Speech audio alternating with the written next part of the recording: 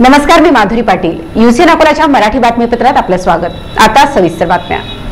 अकोला जिल्ह्यातील तेल्हारा पंचायत समितीचे गटविकास अधिकारी राजू फडके यांना काळं फासण्यात आलं.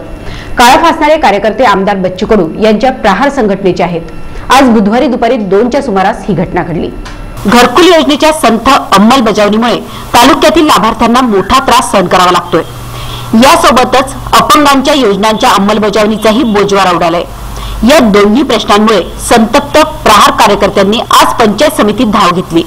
दरम्यान बोलताना कार्यकर्त्यांनी थेट गटविकास अधिकारी फडकेंवर शाई फेकत त्यांना काळं फासलंय यावेळी फडकेंना मारहाण करण्याचाही प्रयत्न करण्यात आला.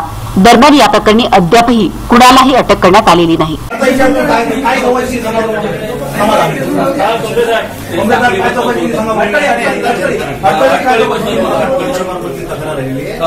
काय जनता त्याचा काही थेंब नाही ती मी सहा अगोदर तो अर्ज केला त्याचं सांगा म्हणजे जनता चौकशी काय केली अटकळीबद्दल बोलतात अटकळीचं दोघे मिळून पत्र कुठं केलेलं आहे ग्रामसेवकाला मग सिद्धीत म्हणतात सहा महिने